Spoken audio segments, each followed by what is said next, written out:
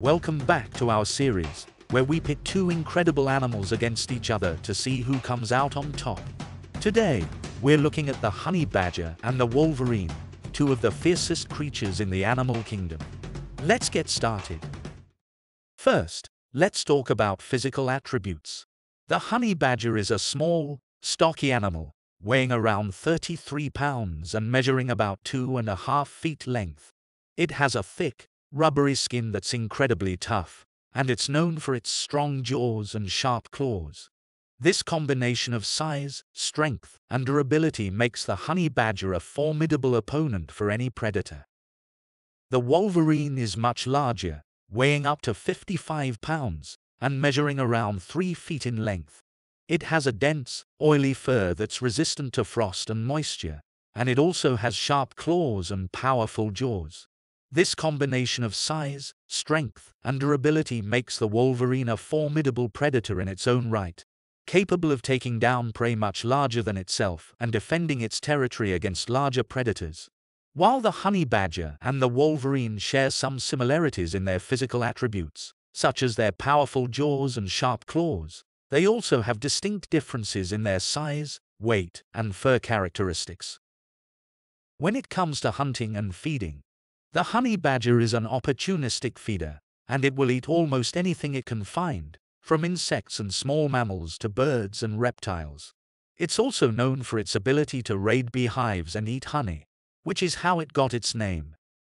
The wolverine, on the other hand, is a skilled hunter and scavenger. It primarily feeds on small mammals like rodents and rabbits, but it's known to take down larger prey like deer and elk, it's also been known to scavenge from larger predators like wolves and bears. Both creatures have the adaptability and willingness to take on all comers, making both the honey badger and wolverine formidable hunters. Let's talk about intelligence. The honey badger is incredibly intelligent and resourceful.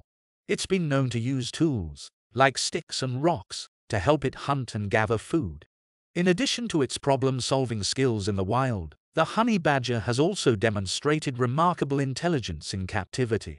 There have been numerous documented cases of honey badgers figuring out how to escape from enclosures and even unlock doors using their dexterous front paws and sharp claws. They have also been known to work together with other honey badgers to take down larger prey. The wolverine is also highly intelligent and adaptable. It's been known to use its intelligence to outsmart and outmaneuver larger predators, and it's also been known to use its intelligence to find food in harsh and unforgiving environments. For example, wolverines have been observed defending their territory against a group of wolves that were trying to encroach on their hunting grounds. Despite being outnumbered, the wolverines were able to hold their ground and drive off the wolves using their sharp claws, powerful jaws, and aggressive behavior.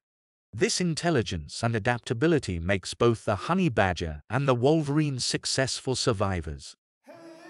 Comparing bite strength, the honey badger has an incredibly strong bite for its size. It has been recorded to exert a force of around 160 pounds per square inch, which is impressive considering its small stature. On the other hand, the wolverine has a much more powerful bite. It can exert a force of around 1000 per square inch, which is comparable to that of a lion or a tiger. This difference in bite strength is due to the wolverine's larger size and more robust jaw muscles. The wolverine's bite strength is used for hunting and scavenging, allowing it to break through the bones and tough hides of larger prey like deer and elk, as well as to scavenge from the kills of other predators. While the honey badger has an impressive bite strength for its size, the wolverine has a much more powerful bite that allows it to take down larger prey and scavenge from the kills of other predators. Next, let's talk about defense mechanisms. The honey badger is known for its fearlessness and aggression. It's not afraid to take on animals much larger than itself, and it's been known to fight off predators like lions and hyenas.